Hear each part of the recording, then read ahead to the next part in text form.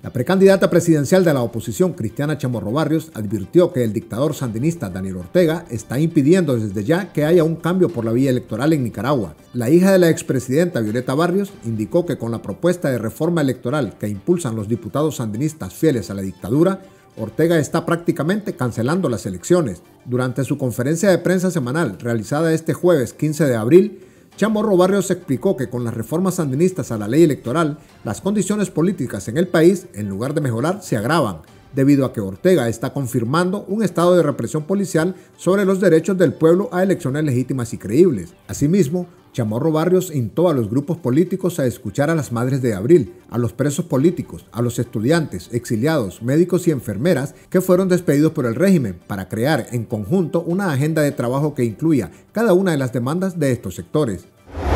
Amigos y familiares del universitario y preso político John Christopher Cerna Zúñiga, conocido como El Tigrillo, denunciaron agresión psicológica y amenazas en contra del reo por parte de custodios del sistema penitenciario Jorge Navarro en Tipitapa. Cerna está prisionero en la modelo, pagando una condena de 12 años por el supuesto delito de tráfico de estupefacientes. Una familiar del joven que habló con artículo 66 a condición de anonimato dijo que el tigrillo les comunicó que ha sido objeto de humillaciones y amenazas por parte de custodios de las celdas de máxima seguridad donde actualmente está recluido. John Cerna también denunció a través de sus familiares que le han dicho que abusarían sexualmente de una de sus hermanas. Le llevaron fotos de la joven, y los oficiales penitenciarios comenzaron a proferir obscenidades sobre ella y a describir lo que le harían sexualmente por el hecho de ser su hermana.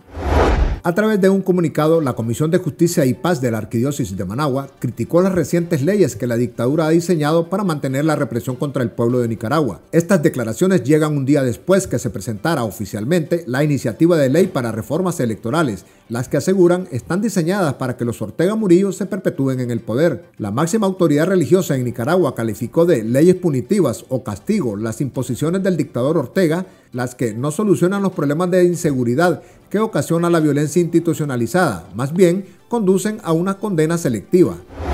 El periodista Alberto Miranda, del medio de comunicación digital Literal Periodismo Ciudadano, denunció agresión física y verbal por parte de agentes de la policía al servicio del régimen Ortega Murillo. El abuso policial se registró este 15 de abril. El reportero aseguró que los oficiales lo cercaron en las inmediaciones de Maxipalí El Dorado en Managua, cuando se disponía a desayunar en un establecimiento cercano, luego de dar cobertura a la protesta contra el régimen que hizo el pastor evangélico Henry Aguilar en una calle cercana al lugar. Síganos en nuestras redes sociales e infórmense en nuestro sitio web www.articulo66.com.